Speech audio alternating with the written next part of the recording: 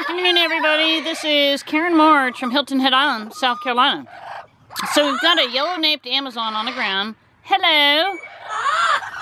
Oh my goodness. Then we've got the, uh, finally we got the blue front to come over. Hello. So blue-fronted Amazon, very gorgeous, and this blue front's in love with the lilac crown because they've kind of been a pair the last couple of years. I'd say last at least year and a half that I've been visiting. Hello. Freedom and I usually only come here like once a year. And we did a splurge. Uh, well, this is a splurge trip because we were here in June. Hey, Freedom. It is so hot in June, you would not even believe it. And you're hearing a motorcycle in the background.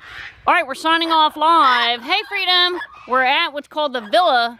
And um, we only have three parrots in here. Woo! And they're so happy to see Freedom. All right, we're signing off. It's Karen Marts. Have a great day.